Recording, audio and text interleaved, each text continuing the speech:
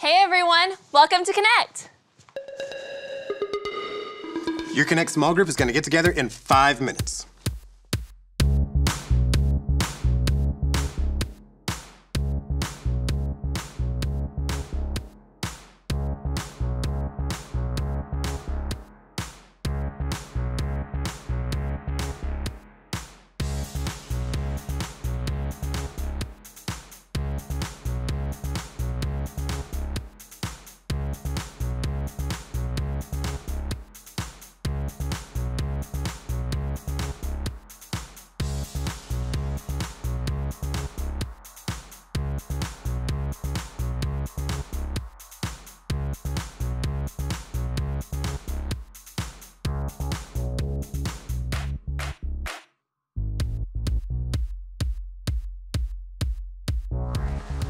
Connect small group will get together in four minutes.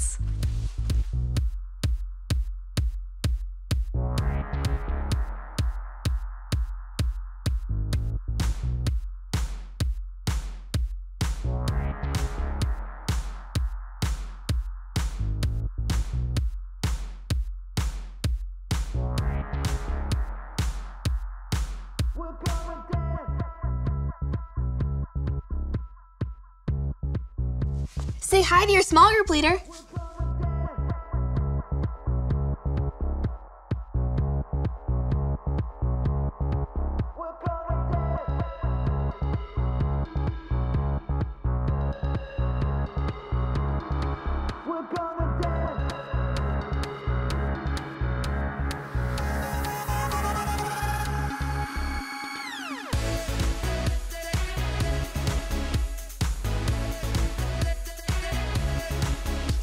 Your Connect small group gets together in three minutes.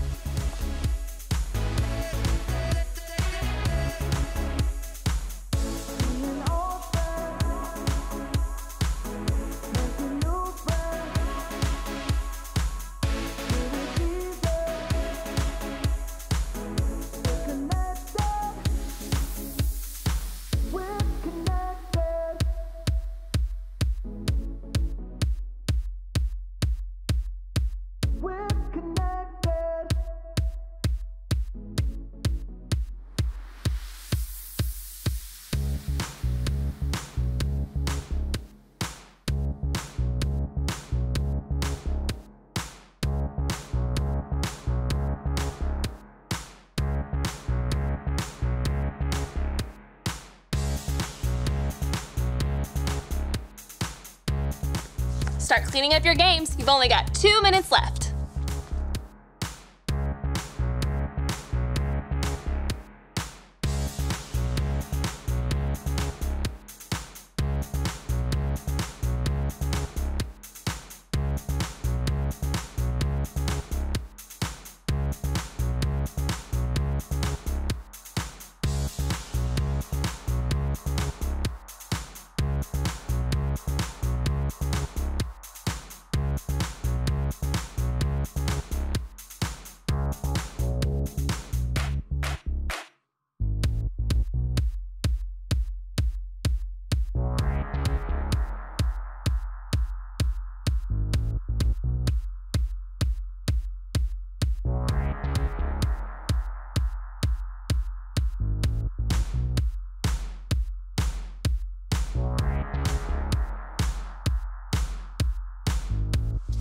It's almost time. Just one minute left.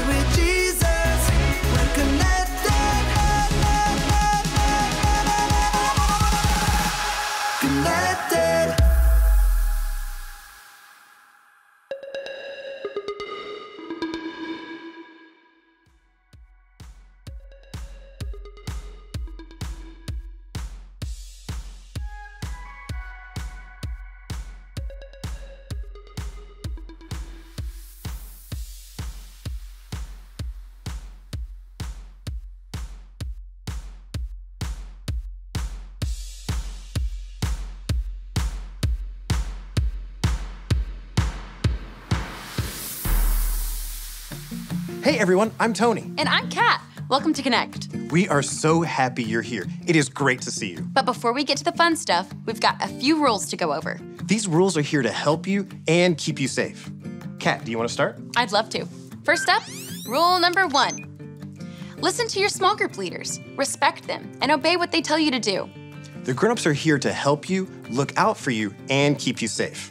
Next up, Rule number two, be a good friend. Treat others the way that you want to be treated. remember the way that Jesus treated others. He always used kind words and showed respect and love to those around him. He'll help you do that too. Be on the lookout for people that are here for the first time. If you're a good friend to them, it'll make their day. We've covered the first two rules. You know what that means. It's time for rule number three. Have fun. This is my favorite part. Me too.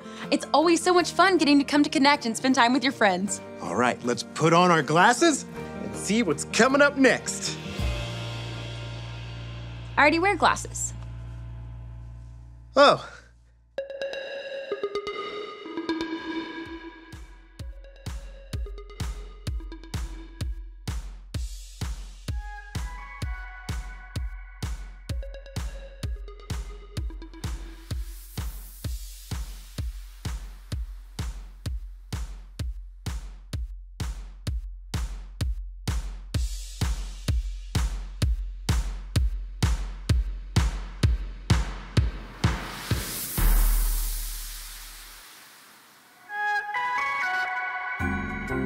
Is a lot like planting a sunflower seed. Huh? What do you mean? Think about it. You could eat a sunflower seed if you wanted, Right? but then you wouldn't have any sunflower seeds left. Oh, yeah, that's no fun. But if you plant a sunflower seed, it will grow into a sunflower that makes a lot of seeds. Okay, that makes sense. But what does that have to do with giving? Say you have some money and you decide to spend it all on candy. Ooh, I like candy. That sounds great.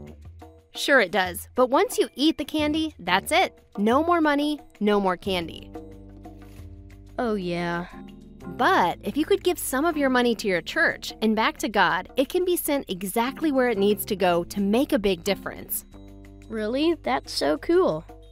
Yeah, your money can keep on giving by meeting the needs of the church and people all over the world to show God's love. Don't forget, when you give your money to God, you can watch it go and grow.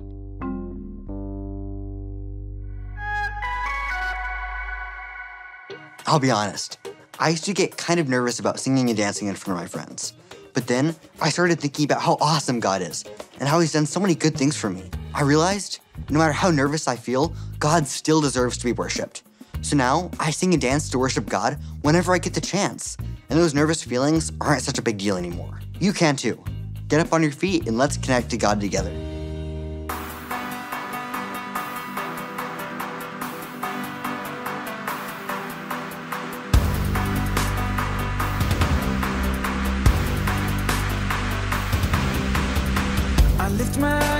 heavens where my help comes from. My hope is found in you, Jesus. You're my strength alone.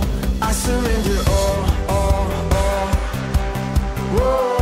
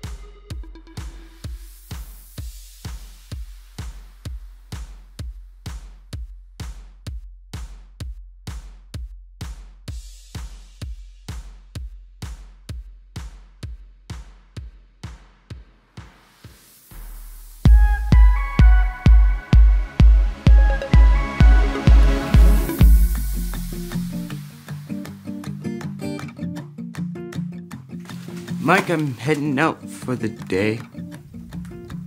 Yes, Edison? Mike, I didn't see there. Clearly, uh, I was testing out these chairs and we've ordered the wrong size. So I'm writing a report. Uh, may I? Oh, yeah, sure. It was actually kind of fun. I was pretending I was like a tiny person in a giant's world, and oh. Hmm. Well, one less thing I have to do. Always happy to help. See you tomorrow. See you tomorrow. Thanks, Edison. No problem.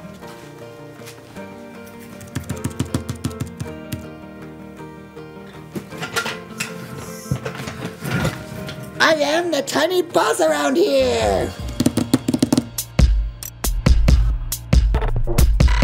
We are Connect HQ. Every day we help the people of the world. Live God's way. We look for the links. Make the connection. And you never know what might happen.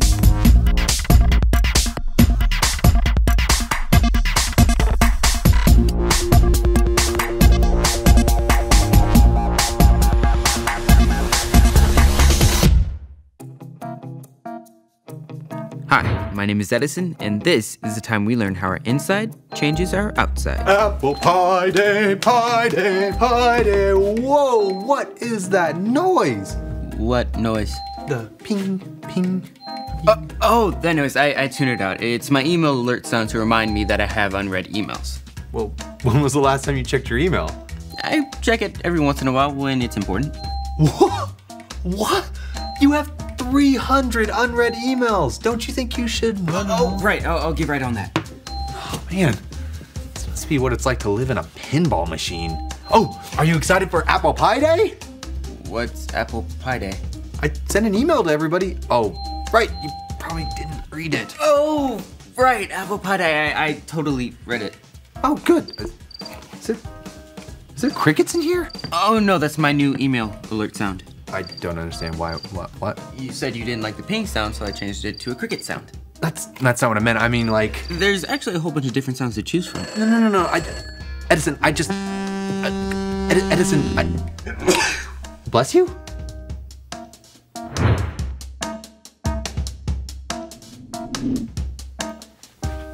Is this where we go for free apple pie? It is, but I'm still waiting on the last batch of apples. Mike went to grab some for me. Claire, you got my invite. Wouldn't miss it. You can drop those apples on the counter there. Oh, yeah, sure thing, Elaine. That's Chef Elaine. Right, Chef Elaine. I thought you were going to bring a friend to Apple Pie Day. Nope, and I don't want to talk about it, so let's not talk about it ever again. Oh, It's going to be a while till there's any pie. y- yeah. Maybe you two should go somewhere less busy and talk about things. Oh, right. We should totally get out of Chef Elaine's hair. Claire, would you like to help me with something in the hub? Sure. Come on. Now, Claire, I know you didn't want to talk about this. Okay, if you must know, I really messed up with my friend Bailey. I thought I was the best friend, but I really made a mess of things this time. I'm not good at being good. What happened? I'm always nice to my friend Bailey when she's around, but whenever she's not around, I talk bad about her. Talk bad about your friend behind her back? Sometimes I thought it was okay because she didn't know, but she found out, and she called me a fake friend. I'm sorry, Claire. She's right. I was being a fake friend. That's the problem, Mike. I always try to be good, but sometimes I feel like a fake. Claire, do you know what character is? Like a character in a book? No, character's who we are on the inside. Our character shows through the things that we do and the things that we say. Our teacher sometimes talks about that. She says our character is who we are when no one is watching or listening. Exactly. But there's a thing called godly character. That's what I want. I try really hard to be good, but I can't be good. The good news is the Holy Spirit can help shape who you are on the inside so that you act and say things in a godly way. Maybe this verse in the book of Galatians, chapter 5, verse 16 can help. Say it with me like this. Galatians 5:16. Galatians 5:16. Live by the Holy Spirit's power. Live by the Holy Spirit's power. So you will not do what your sinful nature wants you to do. So you will not do what your sinful nature wants you to do. Trying to be good or pretending to be good isn't going to work. It may look good on the outside, but you need to change what's on the inside. The Holy Spirit can lead you, teach you, and help you say no to the wrong choices you make. Godly character. Exactly. That gives me an idea, but I'll need Chef Elaine's help.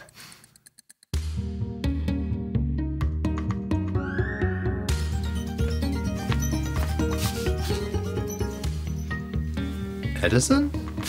I got an email that my friend is having a pool party tonight. Yeah, I, I can see that. You're a little late, buddy. No, it's in a few hours.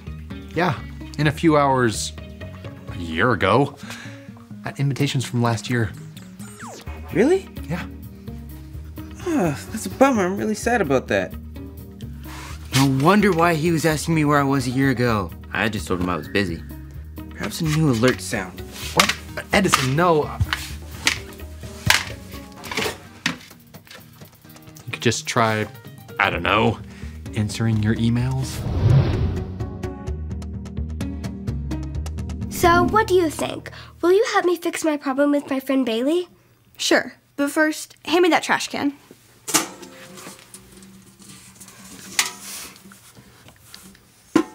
I'm new to cooking, but is this how you make apple pie?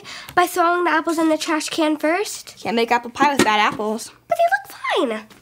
Sure, they look good on the outside, but on the inside, they're bruised and not very tasty. Feel this one. You can even see it coming through on the outside here. So it's like the apples are faking that they're good. You could say that. I just say they're rotten. Hmm. It's just like what Mike was telling me. Sometimes we pretend we're good on the outside, but it's fake.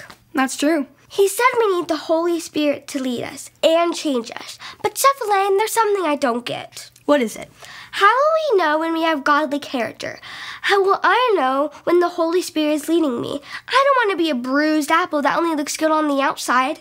Well, it reminds me of a joke. Want to hear it? I love jokes. What's the Holy Spirit's favorite food? Um, I don't know. The fruit of the Spirit. Get it? It's a chef joke. Actually, I can show you a great answer to your question. Check out this story from the book of Galatians. This is the story about the God who loves us in the Bible. We find truth and purpose to love God and love others. We're searching God's word for things to discover.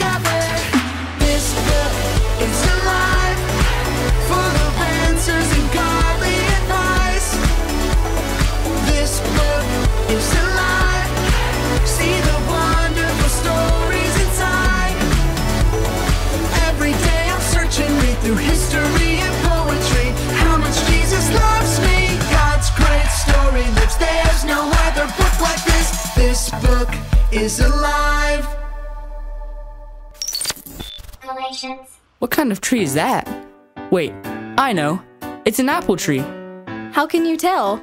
Because it's got apples on it. Apples are my favorite fruit. No, oranges. Wait, bananas. Bananas are definitely my favorite. My favorite fruit is love. Love? Love isn't a fruit. Sure, it is. Love is a fruit of the Spirit. Fruit of the what?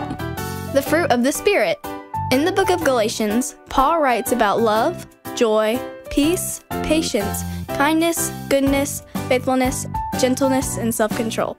When we walk with the Holy Spirit, that's the fruit we can expect to see in our lives. I'm not a tree. I don't have fruit. The fruit of the Spirit doesn't grow on trees, it grows in us because of what we are.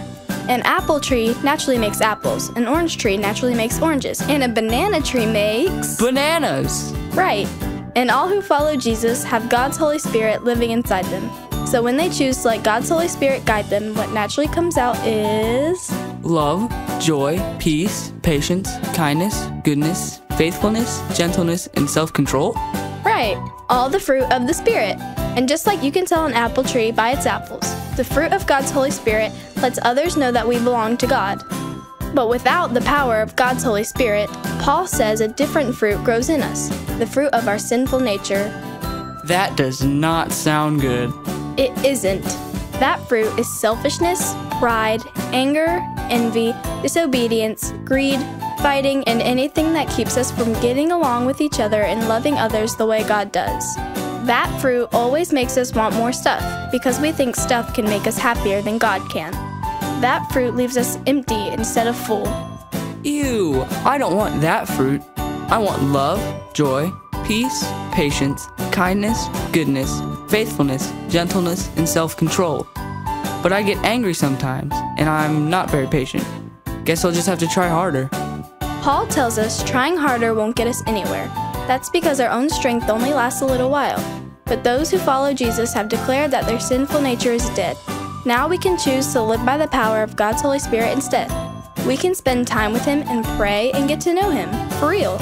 And as we get to know God's Holy Spirit more, I know. The power of God's Holy Spirit will make more of the fruit of the Spirit grow in us. Like bananas! like bananas. So our actions, words, and choices are the fruit we grow.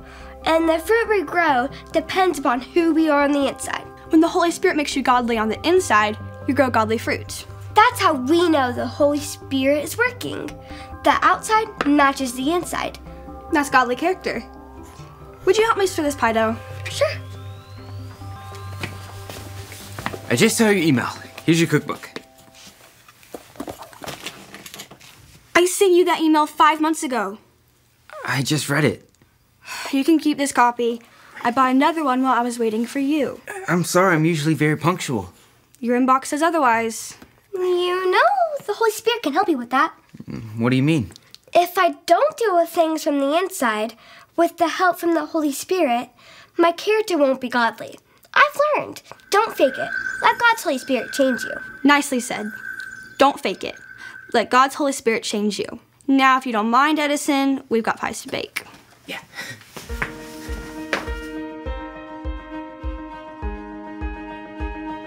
Oh, that was amazing. What if we did this every week, like Apple Pie Wednesday? No. Oh. That pie was so good. Thank you. The fresh apples make all the difference. Um, so what's that last apple pie for? Did we miss one? No, Chef Elaine helped me make that pie for my friend Bailey. I wasn't a good friend to her, and I know one pie won't make everything better, but it's a start. I'm going to give it to her and stop pretending to be good. You can't fake being good. Don't fake it. Let God's Holy Spirit change you. Well, if, I don't know, for some reason she declines your friendship pie, I have a good place for it. Oh, I'll keep that in mind. Uh, see, now I check my emails in a timely manner. No more overstuffed inbox for me. Good job, Edison. Who's it from? Uh, the library. It says I've 22 overdue books? I should go take care of that.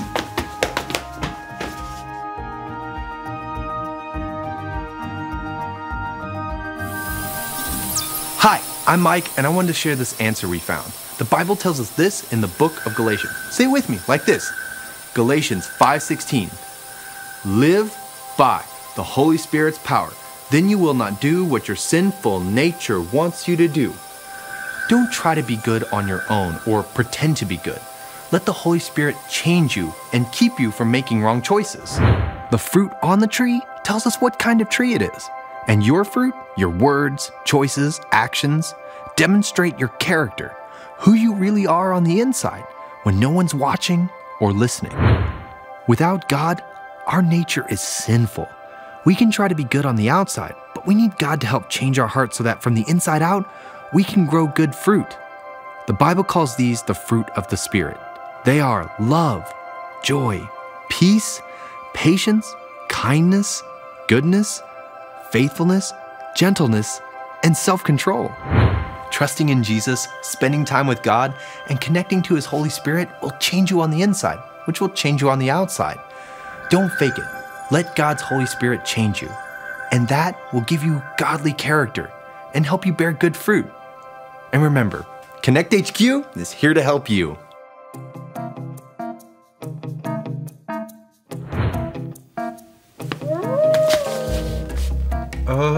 Edison? Hi, Mike. Oh. Whew. I was I was worried there. I thought, oh, your new alert sound is a little unusual. What new alert sound? My inbox is completely up to date. I don't get any more alerts. Then, what was the... Run! Scree, you first! Scree!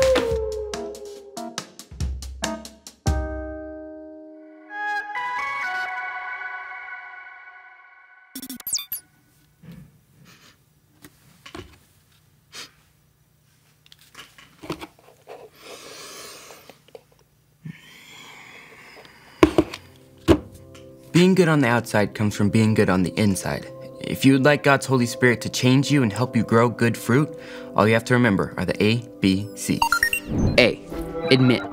Admit that you've done wrong and ask God to forgive you for disobeying Him. B. Believe. Believe God sent Jesus to take the punishment for your sin.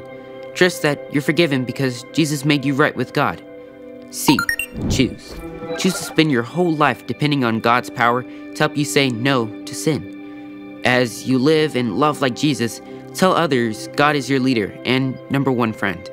If you would like to make that decision today, be sure to talk about it with your Connect Small Group leader before you leave.